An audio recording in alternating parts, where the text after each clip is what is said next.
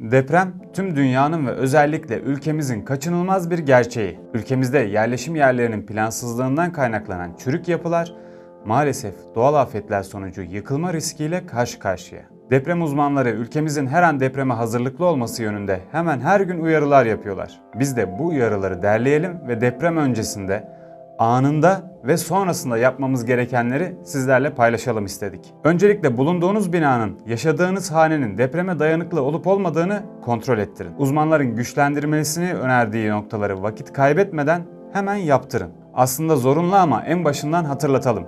Mutlaka deprem sigortanızı yaptırın.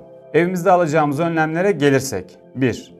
Dolap üzerine konulan eşyaların kayarak düşmelerini önlemek için plastik tutucu malzeme veya yapıştırıcılarla sabitleyin. 2. Soba ve diğer ısıtıcıları sağlam malzemelerle duvara veya yere sabitleyin. 3. İçinde ağır eşyalar bulunan dolap kapakları mekanik kilitler takılarak sıkıca kapalı kalmaları sağlanmalı. 4. Tezgah üzerindeki kayabilecek beyaz eşyaların altına metal profil koyarak bunların kayması önlenmelidir. 5.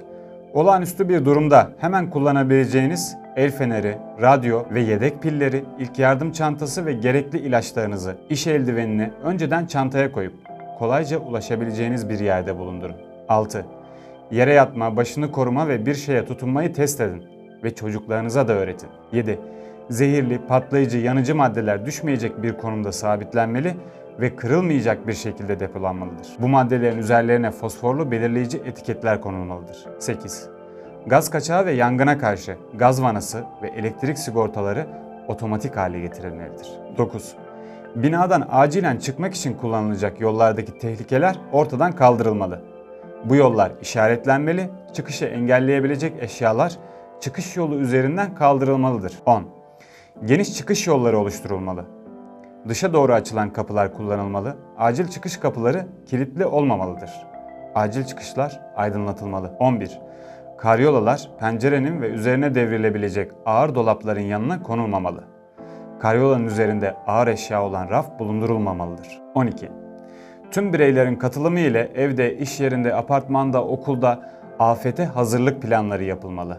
Her 6 ayda bir bu plan gözden geçirilmeli. Zaman zaman bu plana uygun nasıl davranılması gerektiğinin tatbikatları yapılmalıdır. 13. Bir afet ve acil durumda eve ulaşamayacak durumlar için aile bireyleriyle iletişimin nasıl sağlanacağı, alternatif buluşma yerleri ve bireylerin ulaşabileceği bölge dışı bağlantı kişisi belirlenmelidir. 14.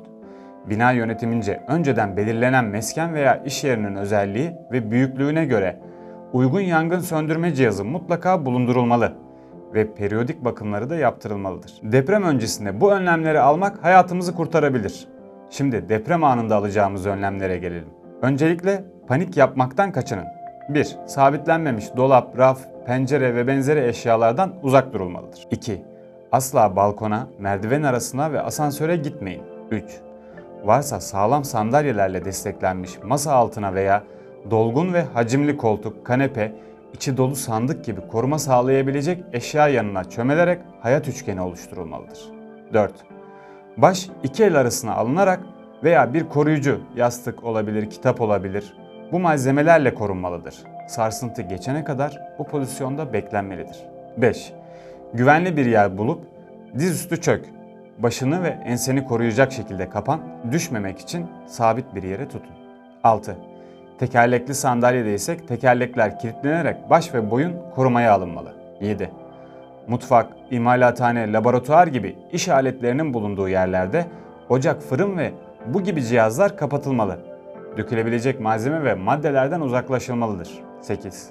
Bina dışındaysanız binalardan dökülecek yıkıntılar ve camlardan, elektrik ve direk tellerinden uzakta güvenli bir yerde depremin durmasını bekleyin. 9.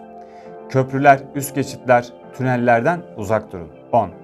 Okulda, sınıfta ya da büroda ise sağlam sıra masa altlarında veya yanında, koridorda ise duvarın yanına hayat üçgeni oluşturacak şekilde çök, kapan, tutun hareketiyle baş ve boyun korunmalıdır. 11.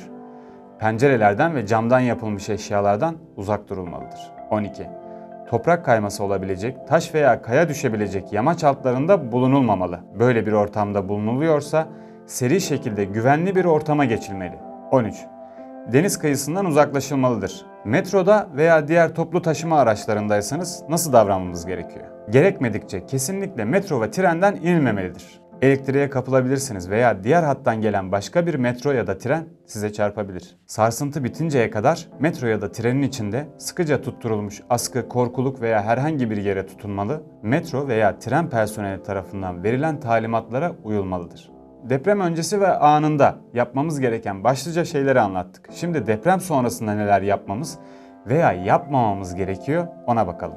Kapalı alandaysak önce kendi emniyetinizden emin olun. Sonra çevrenizde yardım edebileceğiniz kimse olup olmadığını kontrol edin. Depremlerden sonra çıkan yangınlar oldukça sık görülen ikinci afetlerdir. Bu nedenle eğer gaz kokusu alırsanız gaz vanasını kapatın. Camları ve kapıları açın. Hemen binayı terk edin. Dökülen tehlikeli maddeleri temizleyin. Yerinden oynayan telefon avizelerini telefon üstüne koyun. Acil durum çantanızı yanınıza alın. Mahalle buluşma noktanıza doğru harekete geçin. Radyo ve televizyon gibi kitle iletişim araçlarıyla size yapılacak uyarıları dinleyin. Cadde ve sokakları acil yardım araçları için boş bırakın. Her büyük depremden sonra mutlaka artçı depremler de olur. Artçı depremler zaman içerisinde seyrekleşir ve büyüklükleri azalır. Artçı depremler hasarlı binalarda zarara yol açabilir. Bu nedenle sarsıntılar tamamen bitene kadar hasarlı binalara girilmemelidir. Artçı depremler sırasında da ana depremlerden yapılması gerekenlerin hepsini mutlaka yapmamız gerekir. Açık alandaysanız çevrenizdeki hasara dikkat ederek bunları not edin. Hasarlı binalardan ve enerji nakil hatlarından uzak durun. Önce yakın çevrenizde acil yardıma gerek duyanlara yardım edin. Sonra mahalle toplanma noktanıza gidin. Yardım çalışmalarına katılın. Özel ilgiye ihtiyacı olan afetzedelere yaşlılar, bebekler, hamileler, engelliler gibi bunlara yardımcı olun. Yıkıntı altında mahsur kaldıysanız paniklemeden durumunuzu kontrol edin. Hareket kabiliyetiniz kısıtlanmışsa çıkış için hayatınızı riske atacak hareketlere kalkışmayın. Biliniz ki kurtarma ekipleri en kısa zamanda size ulaşmak için çaba gösteriyordur. Enerjinizi en tasarruflu şekilde kullanmak için hareketlerinizi kontrol altında tutun. El ve ayaklarınızı kullanabiliyorsanız su, kalorifer, gaz tesisatlarına zemine vurmak suretiyle varlığınızı duyurmaya çalışın. Sesinizi kullanabiliyorsanız kurtarma ekiplerinin seslerini duymaya ve onlara seslenmeye çalışın. Ancak enerjinizi doğru ve kontrollü kullanın. Deprem ülkemizin kaçınılmaz gerçeği ve bu gerçeğe hazırlıklı olmak hepimizin görevi. Umarız bilgilendirici bir içerik olmuştur. Umarız böyle felaketler yaşamak zorunda kalmayız. Hoşçakalın.